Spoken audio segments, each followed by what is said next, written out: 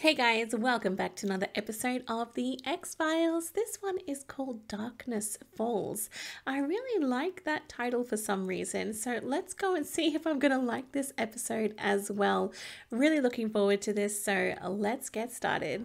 Let's face it, this thing could kill us all. Should have been gone two days ago. No one would listen to me. What are they so scared of?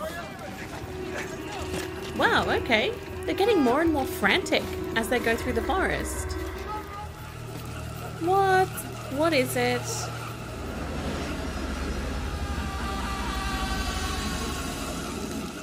A bunch of insects with green lights? I don't know. Is that the thing that they were so scared about to begin with? Or is that something new that's happened here in the forest? I'm not quite sure why they are so terrified of insects, but obviously there's more to it than what we see right now. I just love this show. It's so exciting. Every single episode is so different. 30 loggers working a clear cutting contract in Washington State. Rugged, manly men in the full bloom of their manhood. they vanished, or so it would appear. Two weeks ago, the group of loggers I just showed you radioed a message that Spinney and Teague had gone on a spree, spiking trees, sabotaging equipment, causing general mischief. One week later, all radio communication was cut off. In 1934, long before anyone even knew what an eco-terrorist was, a WPA crew working that same area vanished without a trace. Come on, Scully, it'll be a nice trip to the forest. I'm not sure what this is about yet. I have to say though, I love Scully's makeup in this one. The pink eyeshadow and the pink lipstick, it really suits her. Mulder, Scully. Well, we've got a four-hour drive ahead of us.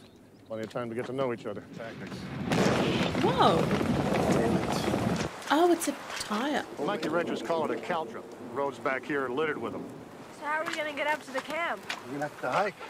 Hike? But how far have they traveled? They said it was a four hour drive. How far have they got to go? Walking. Wow.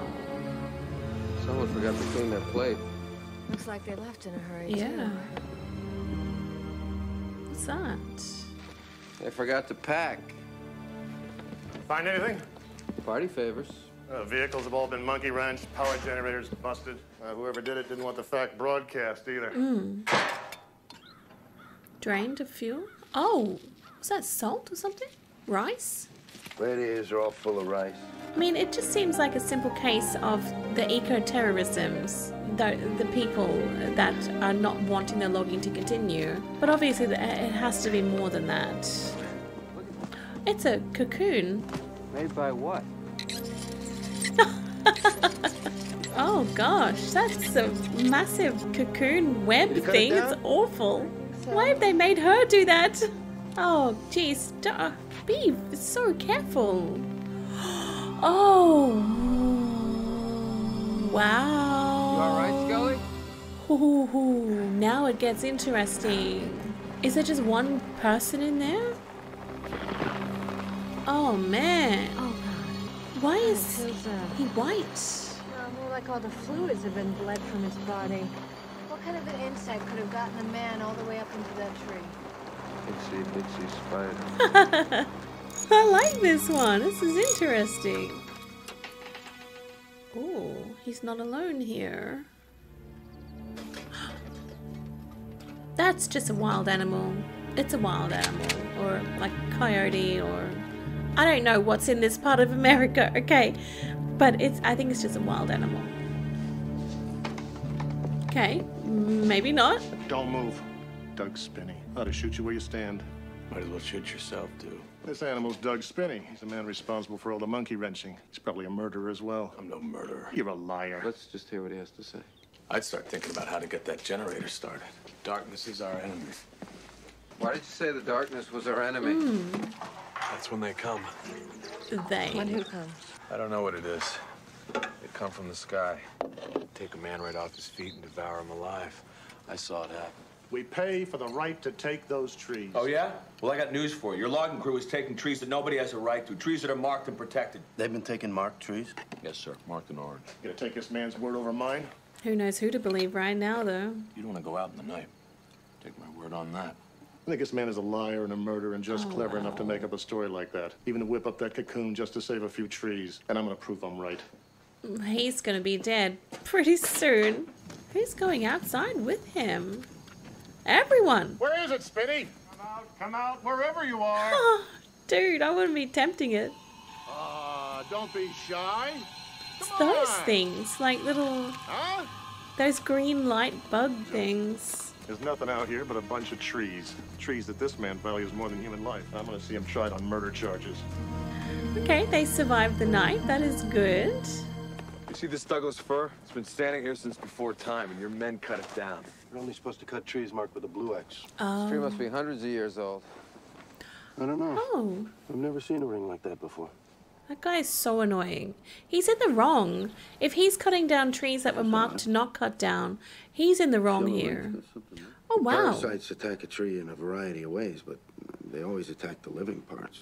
Maybe the wood in this ring is different. They seem to be feeding on it. Hmm. They appear to be hatching out of the porous wood. Maybe when you drilled this core, you tapped into a larger nest. When they built a cocoon, right after that tree was cut down, it's when Teague died.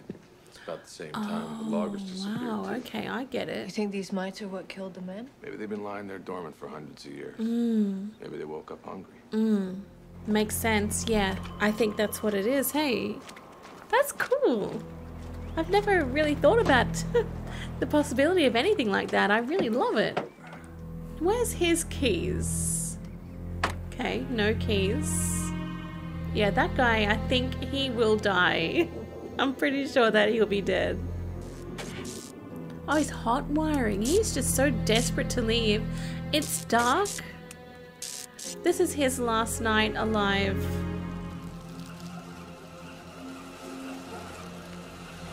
Is that enough to protect him? Just shut the doors. Okay, well, he got the car started. Put the lights on. That's just gonna dig it in further. Oh, they came in. Oh, wow. Oh, no. Okay, well, he's gone.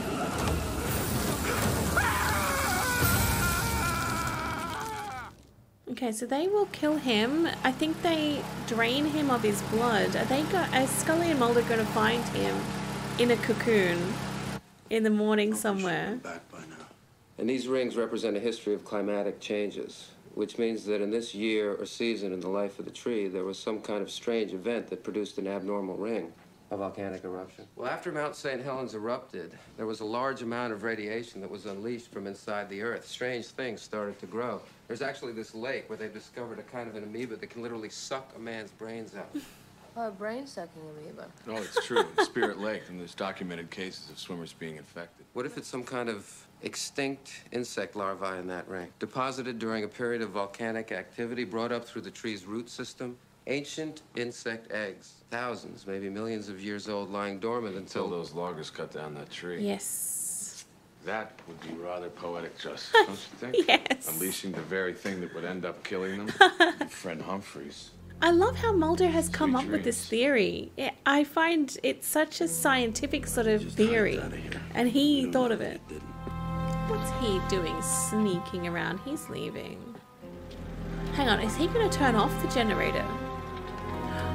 He's taking the gasoline? Why? Why would he want to turn it off though? going somewhere? Oh, he's putting it. Doing a little auto repair. Oh. I gotta save my friends. They only had enough gas to keep their generator running 15, 20 hours max. They're gonna die if I don't get back there. Look, I can save us all, man. We've got a Jeep over there. It's just two valleys over. All it needs is a battery. Now, I could get there. I could be back here in the morning. We can all drive out tomorrow. You gotta trust me, man. Radio's back up. Oh, what? That's amazing. It's working. He's so clever. This is a call for help. Is there anyone at this frequency? Who's What that? happened to the generator? I turned it off. We'll turn it back on. I got the radio. Oh working. no, he turned off the generator? What generator? happened to the gas can? Spinney took it. He left early this morning. He took a battery and some gas. He's gonna come back for us in the morning. What, he give you his personal guarantee on that? He gave me his word, yeah. I think he'll come you back. You stop to think that the man who gave you his word has made an art out of sabotage and defying authority? Your partner let Spinney leave with the last of the gas. I I think that Spinney will come back. I I have faith in him.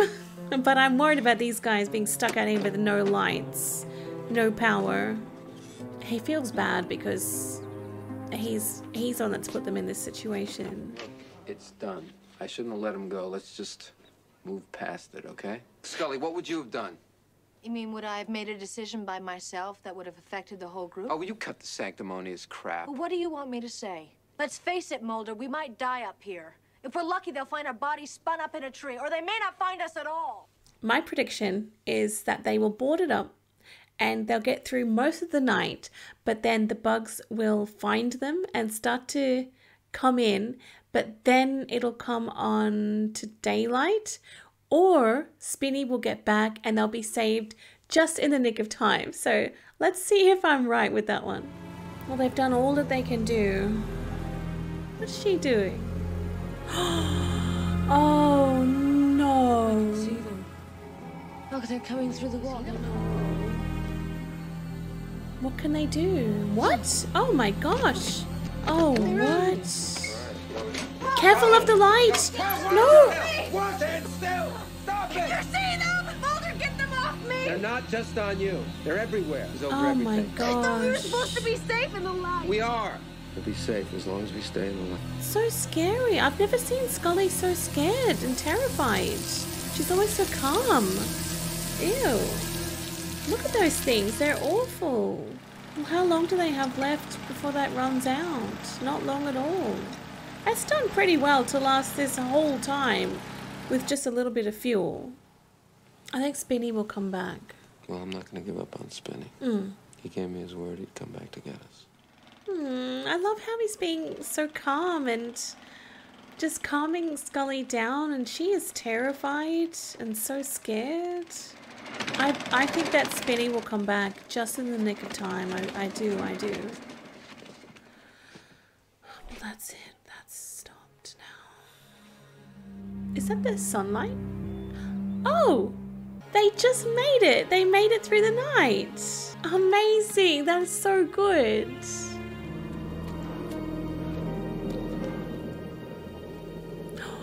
Oh, they're gonna find that guy. Oh. Oh. He's still mo- he's moving. I saw him move. You hear that? It's a car. It's spinning. We gotta move! Yes, Let's go! it is- Let's go! Wait, what about the body? Leave it. Body. Leave it. Leave it. I radioed for help. What happened to your friends? They didn't make it. Oh no. We're not gonna make it either unless we haul ass. Let's go. Come on. I thought that guy in the car was still alive because I thought I saw him move very briefly and slowly. I thought he may have just been paralyzed. Okay, it's night time. Do they have enough fuel to to make it? no! Terrible. I don't believe it. You talk about shooting yourself in the foot. Yeah, that's their own traps. Oh ah, my gosh! Get back in the car! Oh no, no, no!